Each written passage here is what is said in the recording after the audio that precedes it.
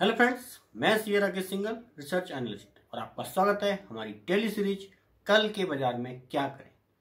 तो आज हम आपको निफ्टी बैंक निफ्टी के लेवल तो देंगे ही, साथ ही एक स्टॉक पिक भी देंगे शॉर्ट टर्म के लिए, और साथ ही साथ अपने दर्शकों के सवालों के जवाब भी देंगे। तो बात करते हैं आज के बाजारों की। आज सबसे पहले बात करते हैं निफ्टी की। निफ्टी का चार्ट आपकी स्क्रीन पर। आज निफ्टी की बात करें, निफ्टी आज ओपन हुआ नाइन टू थ्री फोर पर, और उसके बाद निफ्टी ने डे हाई लगाया नाइन टू सेवन एट का। लेकिन उसके बाद Nifty broadly nine two seven zero से नाइन वन एट ज़ीरो की रेंज में ही था, और फाइनली निफ्टी ने नाइन वन नाइन नाइन यानी नाइन्टी टू हंड्रेड से नीचे क्लोजिंग दी। अगर कल के लिए निफ्टी के लिए बात करें तो कल निफ्टी हमें लगता है नाइन्टी वन हंड्रेड से नाइन्टी थ्री हंड्रेड की रेंज में रहना चाहिए। स्पेशली नाइन्टी थ्री हंड्रेड से नाइन थ्री टू ज़ीरो का जो लेवल है वो एक रेजिस्टेंस लेवल का काम करेगा, जहाँ पे प्रॉफिट बुकिंग आनी चाहिए, और नीचे में नाइन वन फाइव ज़ीरो से नाइनटी वन हंड्रेड एक सपोर्ट का काम करेगा। हमारे भी उछाल पे बिकवाली का है। अब बात करते हैं बैंक निफ्टी की। बैंक निफ्टी का चार्ट आपकी स्क्रीन पर। बैंक निफ्टी की आज की बात करें तो आज बैंक निफ्टी ओपन हुआ था one nine five three six पर, और उसके बाद बैंक निफ्टी ने डे हाई लगाया उन्नीस सात सौ सत्तावन का।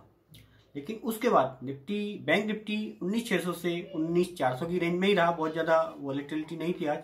और फाइनली बैंक निफ्टी उन्नीस चार सौ बानवे, यानी उन्नीस पाँच सौ से नीचे क्लोज हुआ। कल के लिए अगर मैं बात करूँ तो कल बैंक निफ्टी को उन्नीस आठ सौ से उन्नीस हज़ार की एक रेंज थोड़ी बड़ी रेंज है, जो देखने को मिल सकती है हमें, और स्पेशली उन्नीस सात सौ पचास से उन्नीस आठ सौ एक रेजिस्टेंस लेवल हो सकता है, जहाँ पे प्रॉफिट बुकिंग आनी चाहिए, और नीचे में उन्नीस एक सौ से उन्नीस हज़ार एक सपोर्ट का लेवल रह सकता है बैंक निफ्टी के लिए। तो हमारा भी बैंक निफ्टी में भी उछाल पे बिकवाली का ही है। अब बात करते हैं आपका पिक ऑफ़ द डे की। आज का हमारा पिकअप द डे है ल्यूपिन लिमिटेड एक फार्मास्यूटिकल कंपनी है, बहुत अच्छी। इसका करंट भाव आठ सौ पंद्रह रुपये है। इस स्टॉक को आप आठ सौ दस रुपये के आसपास खरीद सकते हैं। हम, हमारा टारगेट प्राइस है नौ सौ रुपये जो कि पंद्रह से तीस दिन में आना चाहिए। इसका स्टेप स्टॉप लॉस आप रखें सेवन सेवन नाइन पर क्लोजिंग बेस पर। स्टॉक को बाय हम क्यों कर, क्यों रिकमेंड कर रहे हैं? क्योंकि एक तो हमारा जो बाय प्राइस है, ये स्टॉक के सपोर्ट प्राइस के आसपास है। दूसरी चीज़ जो प्राइस है, वो भी करीब ट्वेंटी डीएमए के पास है। तीसरा, जो इसकी स्लो स्टोकेस्टिक्स है, वो भी ओवरसोल्ड जोन में है, जो कि वहाँ से राइज करना शुरू कर रही है। साथ ही साथ स्टॉक ने पिछले एक महीने में हायर हाई हायर लो बनाए हैं, यानी कि एक अपवार्ड ट्रेंड में स्टॉक है। तो इसलिए हम स्टॉक को रिकमेंड कर रहे हैं। अब बात करते हैं हमारे दर्शकों के सवालों की। हमारा आज का सवाल है राज कपाड़िया जी का एलएनटी पर।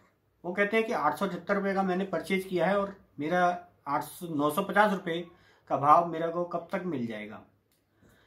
राज़ी अभी का भाव इसका आठ सौ पच्चीस रुपये का स्टॉक का stock short term down trend में है और मेरे को लगता है स्टॉक में आठ सौ रुपये के आसपास एक अच्छा सपोर्ट है।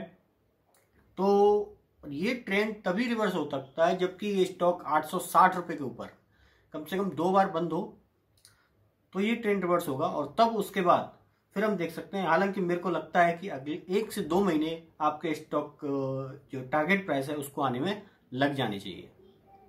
बाकी आपके किसी पार्टिकुलर स्टॉक को लेकर कोई क्वेश्चन है तो मैं ज़रूर लिखें विद टाइम पीरियड और जिससे कि हम आपके सवालों का जवाब दे सकें।